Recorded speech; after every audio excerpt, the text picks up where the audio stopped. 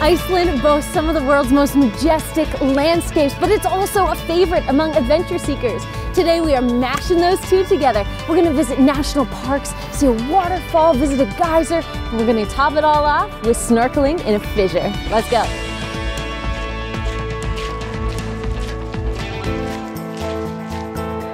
I'm at Thingvellir National Park and the sun's just coming up and it's evaporating the mist and it's revealing this gorgeous vast landscape.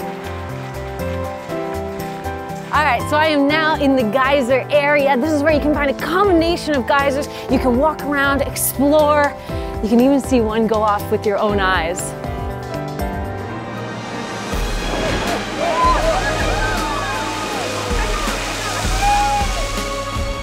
We are here at our next stop, which happens to be Gullfoss, a gorgeous waterfall, and that translates to golden waterfall.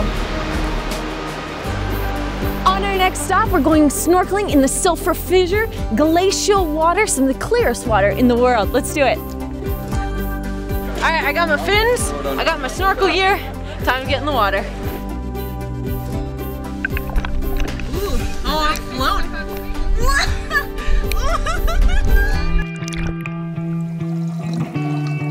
We're snorkeling right between the North American and European continents.